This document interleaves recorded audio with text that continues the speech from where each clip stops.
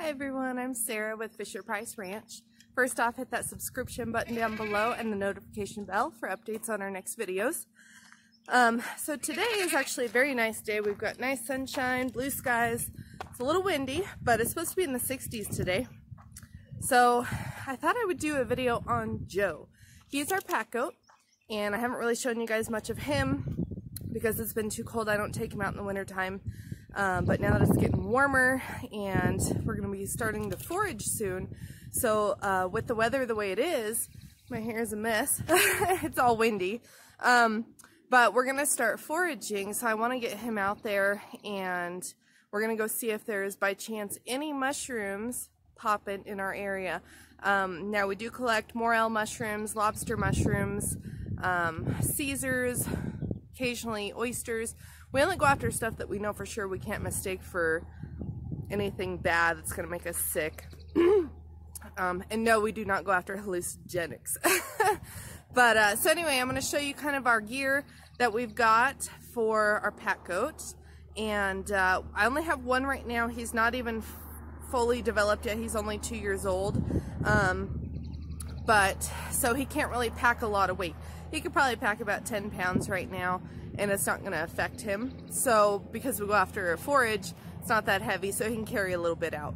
So uh, let me go ahead and get a hold of him and I'll show you what we're doing. Joe!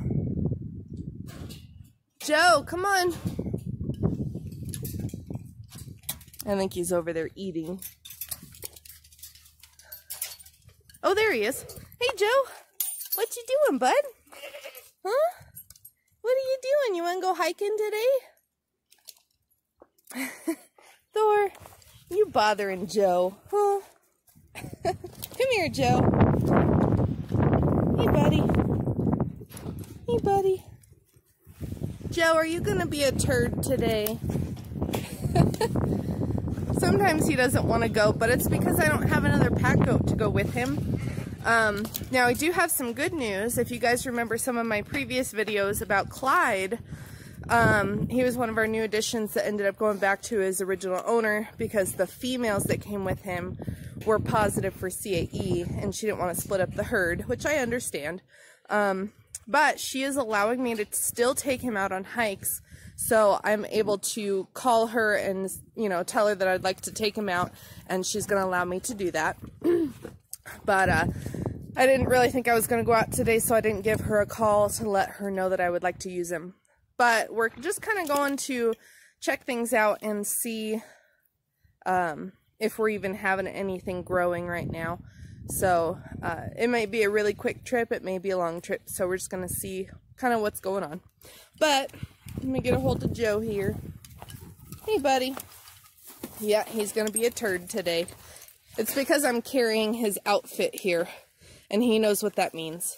And some days he loves it. But like I said, he doesn't like to go by himself because it's lonely. And I understand. And Chewy is not weaned from his mother. So he can't go yet. So anyway, let me get a hold of him and then we'll get him set up. All right, so we got Joe and uh, so we're gonna put his vest on him real quick.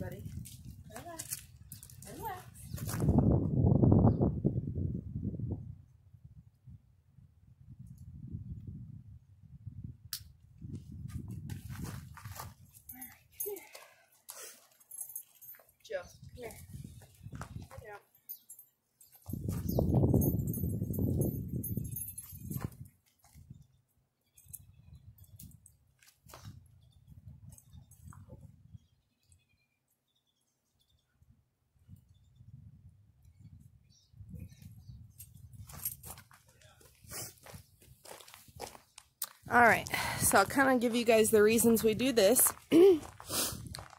this is just me personally. Now I put a vest on him. I bought the vest. It's a dog vest. And then I added all the extra straps to it. And the reason I did that, couple things. We like to have something that's reflective on our goats. That way hunters don't shoot them. So he always wears his reflective orange color, which I'm obviously going to need to replace. I do have another one in the house. But I added all these extra straps because when he real wears a real saddle pack, it has all those straps. So this kind of gets him used to all the different straps on his body. And then when we do put a saddle pack on him, he won't be freaked out because there's something new touching him. so this just kind of gets him prepared. Okay, come on, buddy. Now, so the way Joe is, he can be stubborn, as you can see, um, because like I said, he does not like to go by himself. So that's why I put the halter on his face, because I'll switch my um, lead here to his halter and that way he can't fight me and I'm also not choking him that way. So we're gonna get him loaded up in the car and we'll go out to the woods. All right, so we're out in the woods. We're only about five miles from my house and you can see that there's still quite a bit of snow up on the mountains, which is good. We've had a lot of moisture this year, this winter and early spring, and uh, we're actually expecting more possible snow tomorrow and the next day. So definitely liking all the moisture. Um, we're gonna stay below the snow, but we're gonna get up into the mountains over there and see what we can find.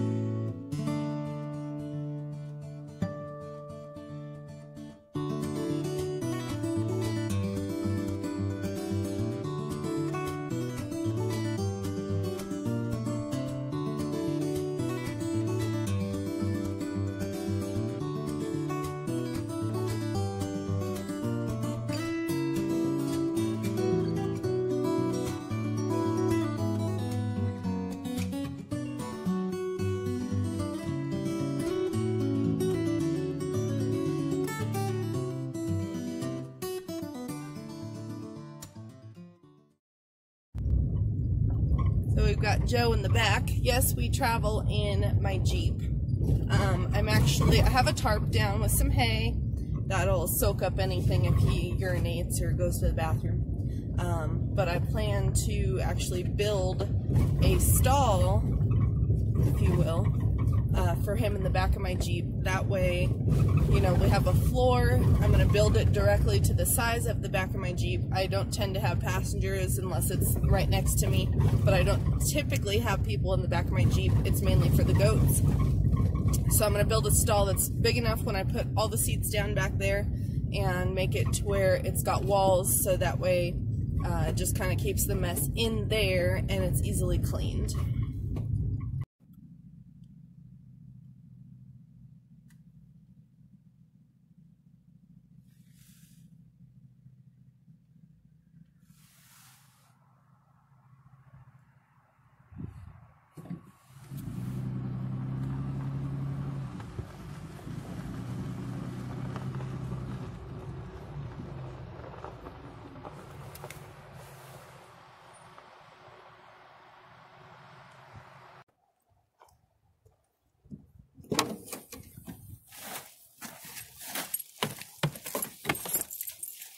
boy.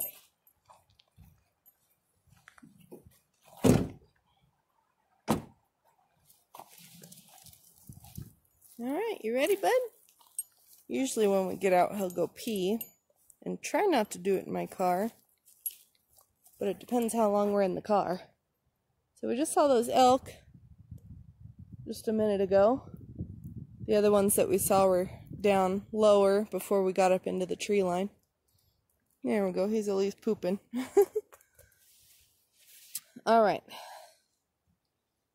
So first off, I would like to mention that because I go out in the woods by myself and with a prey animal, I make sure to always carry. Um, you never know when you know, I've seen bears and lions and things out here, so I always make sure to carry just in case we're getting stalked or whatever. Oh, now he's peeing. but anyway, so we're going to look for the morels out here. Um, I am still lower. It's quite warm out today. Uh, the ground is very wet, which is great. Um, so the morels tend to be um, kind of north-facing slopes. That way they just get a little bit of sun in the morning and evening. They don't get that really hot um, midday sun. And uh, also up here where we are, we tend to get the black morels, the fire morels. So I came to where we had a fire uh, in the fall, and so we're going to check it out and see if there's anything growing.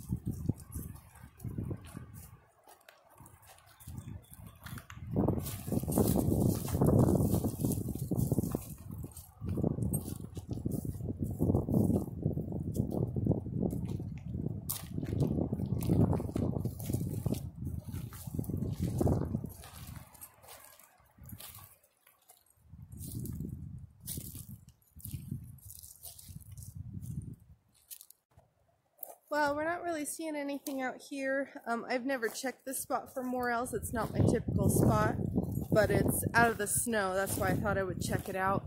So we're going to continue down the road and see what we might find. Alright, so we're going to try this new spot. And if I don't find anything here, I'm just going to assume it's a little early.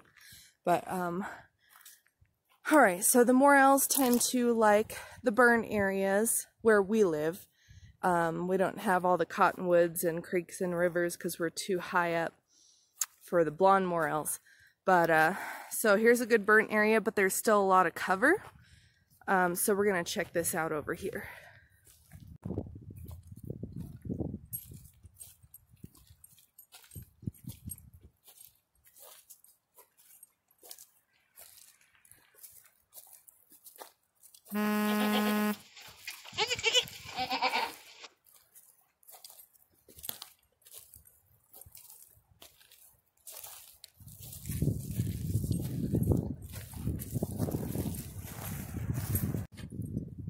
Well, we've been kind of scouring around and I'm still not seeing anything. I think it's still a little bit too early. So we'll probably try again. If it warms up next week, we'll try then because we are supposed to get some moisture this week and it's going to cool off. And then it, I think it's supposed to warm back up and get even warmer than it has been. So that might be what we need. Um, so anyway, um, at least kind of now you see what we're doing with Joe and uh, he's hiding behind me. But, um, so he is still in training. You don't typically pack a, a full amount on a goat until they are around four years old. That's when they're done, their body's done growing, so you aren't going to screw up their back. Um, a couple things I did want to talk about. Well, I did mention uh, a little bit of safety. I do keep a gun on me. Also, because it is windy and we're walking around burnt areas, I do watch the trees. I don't want to hang around a dead tree in case the wind blows hard enough it could fall. So I do kind of watch for that as well. Um, even though we are looking at the ground, looking for mushrooms, I still, on occasion, uh, look up, make sure that I know that there's nothing following us, or, you know, also I don't get lost. Um, so anyway, I just make sure I keep my phone on me, just in case anything happens, I have a way to get a hold of somebody.